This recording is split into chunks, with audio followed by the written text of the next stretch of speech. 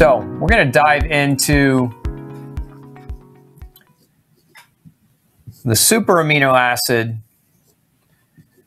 known as NAC. If you haven't heard of NAC before, NAC stands for N acetyl cysteine. That's why we just abbreviate it as NAC. It's just easier to say, right? So N-acetylcysteine. Now, why is this such an important amino acid? And predominantly, this this amino acid is critical. It's it's not an essential amino acid. So when I say essential, I mean your body. There are ten different essential amino acids, meaning you have to eat them in order to get them. You your body can't produce them. N-acetylcysteine doesn't fall under that category of your body. in essence your body can produce this but what happens is is is this is actually referred to as a conditionally essential amino acid and this this one N-acetylcysteine and glutamine probably the two best examples of conditionally essential amino acids, meaning under certain conditions, under certain circumstances, your body can't produce enough to, to meet the demand to help you overcome the problem. So conditionally essential, again, under certain conditions, we can't produce enough.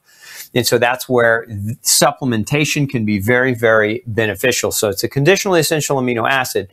Now, one of its primary functions is to produce a substance known as glutathione. And I have a slide for you we can pop up as well just to kind of show you some of the different functions of N-acetylcysteine. But it produces glutathione. Now, why is this important? Glutathione is your liver and your body's master antioxidant.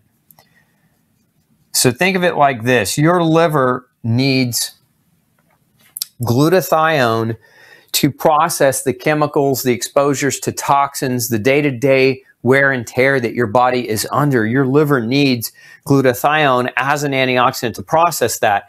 And N acetylcysteine is, is a necessary component of glutathione. Now, glutathione is actually what's called a tripeptide. What does that mean? It means it's it's three amino acids that are connected together. And so N-acetylcysteine is one of them, but also glutamine is another. Now, you've maybe heard me talk about glutamine, and we'll talk a little bit about it tonight.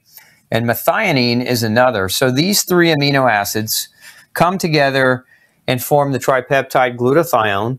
And as glutathione's function is to help your liver detoxify your body, it is the master antioxidant. And when you're low in glutathione, you're basically, your toxicity bucket can fill up much, much faster, making you more susceptible to environmental toxins and other environmental exposures to chemicals, etc., thus lending toward creating or contributing to making you sick over time. So, very, very important in N-acetylcysteine because it's a direct precursor. And by taking this supplementally, you actually improve or increase your body's internal levels of glutathione. So that's one of the major, major functions of N-acetylcysteine. Now, one of the other functions of N-acetylcysteine is it's known as a mucolytic. What does that mean? That means it breaks down or breaks apart mucus. So where this is very helpful for many people that are, you know, if we're talking about viral problems, one of the things, one of the secondary complications of a viral infection, and whether it's influenza or corona or any other type of virus, is what's called an upper respiratory infection. So it can get into the respiratory tract, into the lungs, it can get into the sinus cavity. And what happens is with an infection is your body's producing a lot more mucus. You can become congested. That mucus increases the thickness, makes it harder to breathe. This is why people get respiratory wheezing um, or, or um, uh, kind of pressure because that mucus is building up inside. Uh, the, inside the lung tissue or inside the sinuses. So what what N-acetylcysteine can do, and what's interesting about this is this is actually FDA approved. Glutathione is federally federal drug administration. This is an approved drug in a sense to break down mucus. So it's an approved, FDA approved mucolytic. So it's very, very effective. And if you've ever had chronic congestion, chronic sinus, chronic sinus issues, chronic chest congestion, and used supplements that help break this down, some supplements are, I have a product called Ultra Sinus Support, for example, and one of the main ingredients in it is in N-acetylcysteine.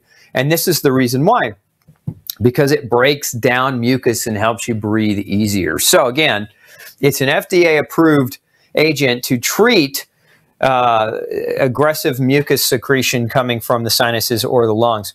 Now, additionally, it's also FDA approved for this, which is to overcome toxicity of Tylenol or acetaminophen. Um, so in the hospitals, when somebody overdoses on Tylenol, what's used?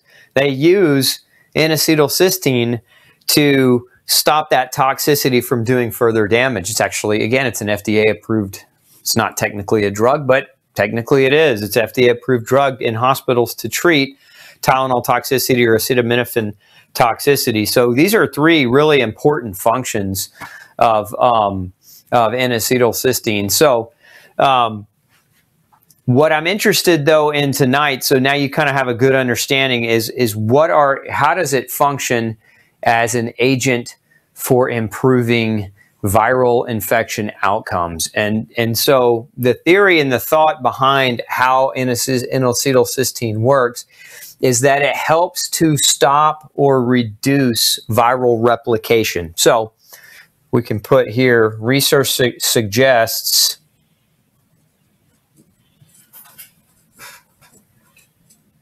that it reduces viral replication. So all viruses have a an initial uh, period where they break your immune system and they can come in and they can become activated or become active, right? And so first they have to get by what's called your innate immune system, your skin, your mucus barriers. Once the virus breaks through that, then it can get into your cells and it can start hijacking your cellular machinery and it can start replicating in a big way. Glutathione or N-acetylcysteine cannot stop you from getting a viral infection. I want to be very clear there. That's not what, what it does. But what it does is if you start or if you have a virus, in, es in essence, you've been infected by the virus, what it can actually do is it can reduce viral replication. And so it can, in studies suggest and show, as a matter of fact, I'm going to put one study up. Let's put that one up on, uh, that's it right there, European Journal, uh, your, um, Attenuation of Influenza-like Symptomatology. So if you can see that slide there, this was a study published, and it's not a new study. I mean, these studies have been around for quite a long time. And actually, in my opinion, um, the FDA and the CDC should, should probably fund a lot more research because this is one of the most powerful antiviral agents that doesn't cost a lot of money. A lot of your viral medications are super expensive and they don't really work that well.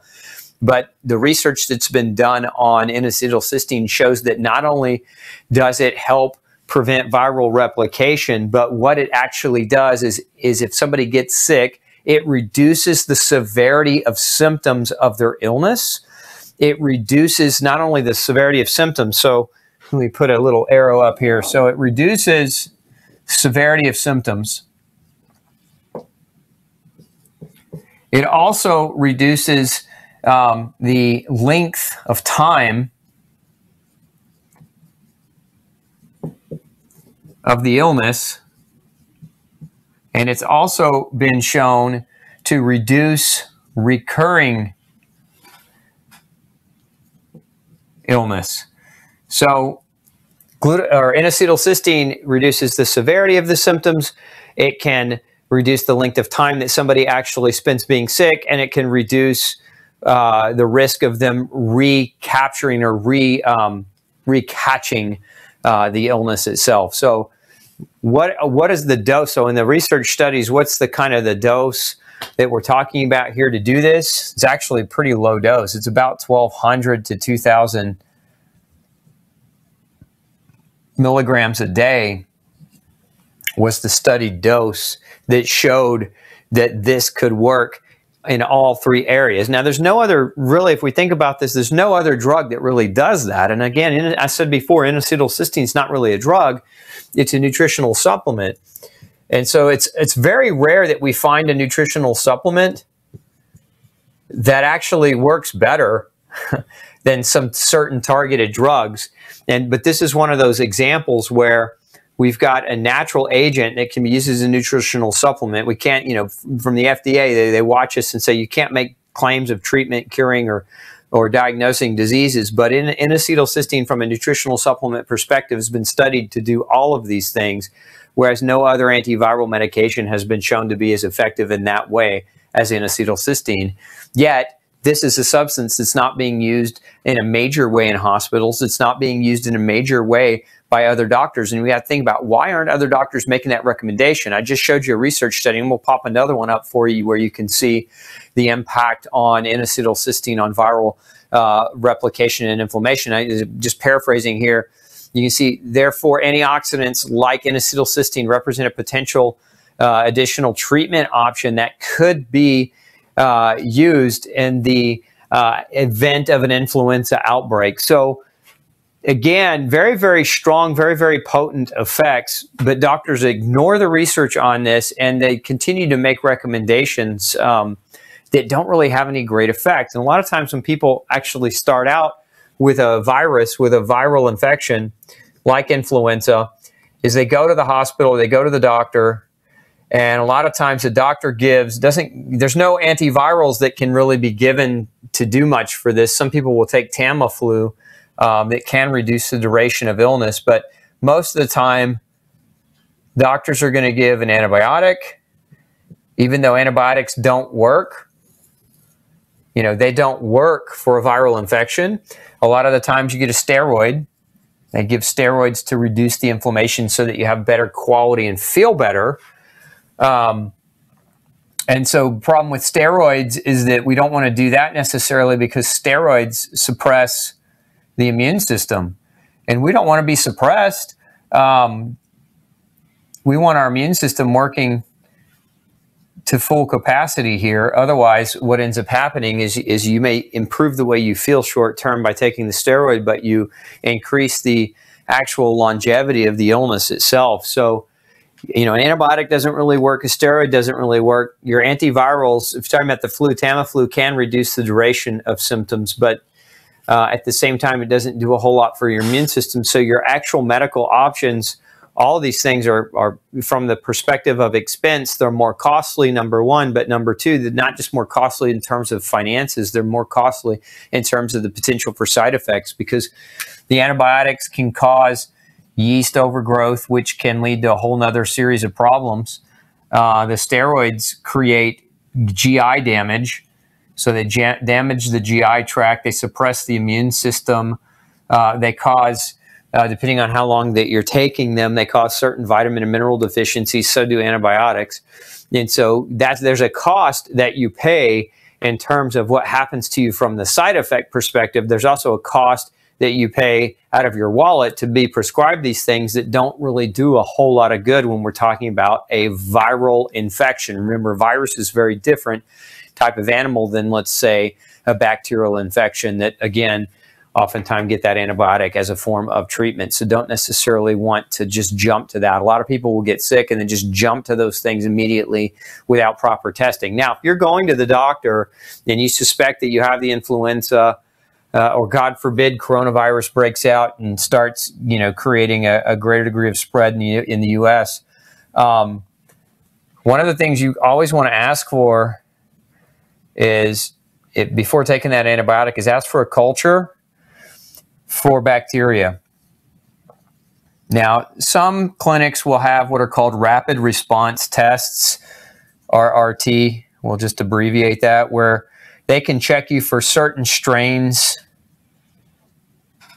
like influenza A or B, certain strains of virus, um, or they can check you for certain, they can check for certain types of bacteria rather quickly. But again, in my experience, depending on the doctor that you see, most of the time they're not really doing this. They're just kind of, they're making the diagnosis of infection uh, they're calling it upper respiratory infection or something like that. And they're just giving you the antibiotic just in case you need it. They're giving you the steroid just in case you need it. And then they might just recommend some over the counter um, mucolytic based products um, for you to take to kind of ease your cough or to ease your congestion, etc. When again, uh, the super amino acid N-acetylcysteine can do that. Remember, it's FDA approved as a mucolytic, but also very, very effective at reducing viral replication. Also, it's important to understand that we've studied other viruses and we know that when a person has a major active viral infection, they're burning through about 6,000 milligrams of NAC meaning their body, this is what I meant earlier by conditionally essential. Under certain conditions, you use more than what your body can produce. And, and infection, viral infections, an, an example of that, where if you're burning through 6,000 milligrams a day of NAC and you are not, your body's not capable of producing that from your current diet, then supplementation is really the only way to kind of get what you need. So this is this is you know one of the things we know is about 6,000 milligrams a day are burned in certain viral infections. And so to really be effective, you know, you've got to have a supplement that can provide that type of level to help you um, basically to help support your ability to recover uh, much more effectively. So again, this is this is something that uh, we didn't talk about in the last episode. We talked about a lot of other things. We talked about zinc and vitamin A and vitamin D and vitamin C and andrographis and elderberry as all different things, echinacea that could help your immune system uh, and support your immune system's ability to fight viruses. But we left N-acetylcysteine out, and I wanted to talk to you about that tonight. Hey, don't forget to check out the rest of the series right here. Make sure you hit subscribe below. And as always, thanks for tuning in.